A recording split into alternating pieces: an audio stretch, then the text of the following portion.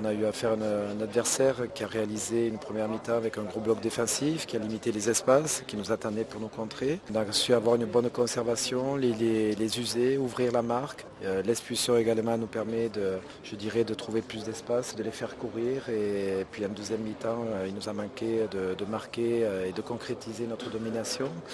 C'est un petit peu dommage parce qu'on est toujours à la merci d'un but un petit peu foireux. Et voilà, mais l'essentiel est, fait avec une bonne maîtrise collective.